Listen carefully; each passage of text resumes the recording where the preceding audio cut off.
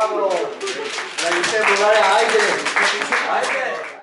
And I'm talking now about the Roma people, the gypsies, what later on were called the gypsies, the nomads, that started in Rajasthan. And even today, if you go to festivals in Rajasthan, and there are dozens and hundreds of, of festivals there, you'll see music that's played there, and you say, wait, I know this kind of music, I know this instrument, but I know it from another place. So my point is that music does not belong to a certain place.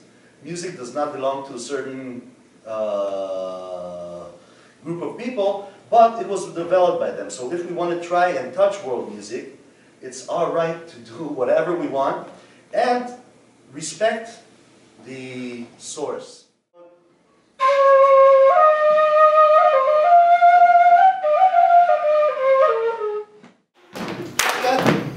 Other side.